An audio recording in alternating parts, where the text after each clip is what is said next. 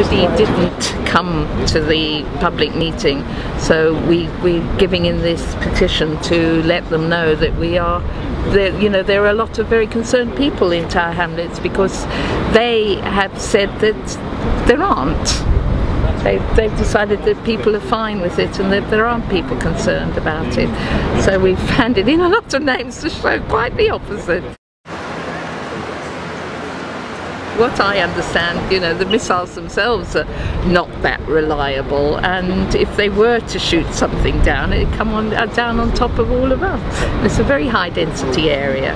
Now, I live in the area, my daughter lives in the area, my granddaughter lives in the area. I'm a primary school teacher, I teach very young children. I don't want it coming down on anybody in the local community.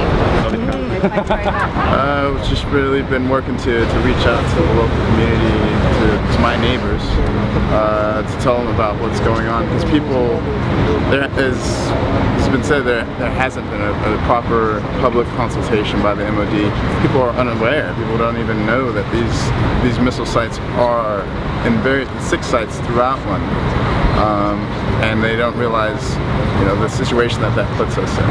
And so I've been reaching out to the community to talk to people, tell them what's going on, and get their their feedback to really have a voice to make that consultation. It's just people see it as a crazy idea. You're going to shoot a missile into the sky and blow something up presumably over East London. Uh, so you know it's a sad day when when a, the government is treating its own people like collateral damage. This one down to